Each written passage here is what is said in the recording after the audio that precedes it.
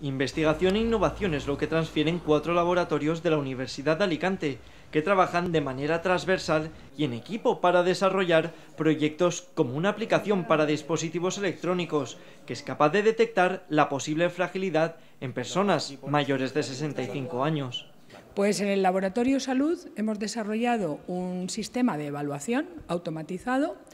que después de una revisión científica bastante exhaustiva se ha, tomado forma en una aplicación que está en una tablet, una aplicación eh, tecnológica que lleva 275 ítems y permite evaluar personas con, con personal experto, claro, en 35 minutos y después de la evaluación emitir un informe que identifica posibles problemas relacionados con la fragilidad. Tras recibir el informe comienza una nueva etapa en este proceso. En una sesión clínica contrastamos la opinión del evaluador con lo que ha salido en el informe para no darle todo el poder a la máquina y cuando ya es ok se lo enviamos a su domicilio. A partir de que se le, lo recibe en su domicilio, esa persona ya es candidata a pasar a la fase 2 una fase 2 que se encuentra en vías de desarrollo y desde los laboratorios de la universidad trabajan a contrarreloj para que todo esté a punto. En una primera fase, y recibiendo las indicaciones del laboratorio de salud, diseñamos la, parte tecnológica que necesita el usuario en la vivienda. Vemos en la impresora 3D cómo estamos ya diseñando algunos prototipos que lo que hacemos es testarlos a nivel de funcionalidad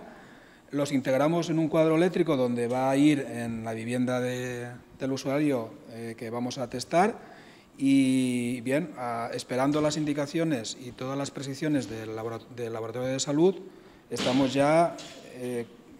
con el primer prototipo para instalar en viviendas. El equipo informático compuesto por ingenieros trabaja ahora en el área de nutrición, donde el paciente desde su casa podrá tener una asistencia inmediata a través del dispositivo que se le facilita en el centro de salud. En principio se trata de un asistente inteligente con una serie de comandos ahora mismo eh, relacionados con la nutrición que, eh, eh, que esperamos ayuden a mejorar la alimentación y la nutrición de las personas mayores. Un proceso sencillo y mediante voz que ayuda a las personas vulnerables que viven solas o acompañadas a tener una vida más fácil. En un principio tendrán un dispositivo que es un altavoz inteligente que, al que le tendrán que comunicarse mediante, mediante voz. Ellos le preguntarán al altavoz o el altavoz le preguntará a ellos y a, y a partir de ahí se iniciará una conversación con la cual obtendremos esos resultados o la persona mayor obtendrá eh, la información que necesita. Este es uno de los proyectos de los ocho que llevan en el área de la Universidad de Alicante y que está apoyado por la Agencia Valenciana de Innovación